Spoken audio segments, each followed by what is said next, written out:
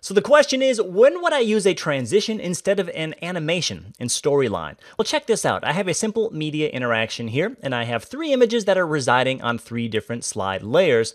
And right now, as I switch between the layers, you'll see that the pictures change, but it's a pretty abrupt change. They're just appearing here. Well, if I want a more refined look, really I've got a couple of different options. I've got animations and I've got transitions. So my first thought is maybe I want these images to fade in. So I'm going to go and use an animation. So I select each of the images on the slide layer and I add a simple fade animation. I'm going to add a fade animation and one more a fade animation. Now pay attention, our base layer background is black. Let's preview here. And the reason I mention that is this. I'm going to fade that first picture in. It looks great.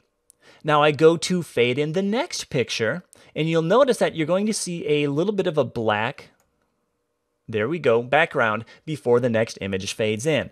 That's because what's happening here is that these images are fading in. And so for just a moment, we're seeing that base layer background, that black.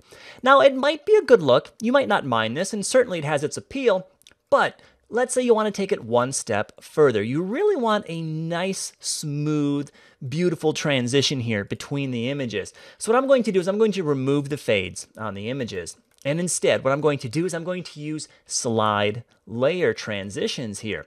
So I'm going to select each slide layer and add a layer transition. So what's going to happen is the entire layer is going to transition, not just the image. And watch the difference here. Watch what happens now as we transition between the images. So the first one's going to fade in. Now watch the transition. It's a beautiful crossfade. So instead of having that dip to black and then back into our picture, now we have a constant fade between the images. And for my money, I just think it looks a little more polished and a little more professional. And that is one of the reasons that I like using transitions instead of animations at certain parts of my Storyline project.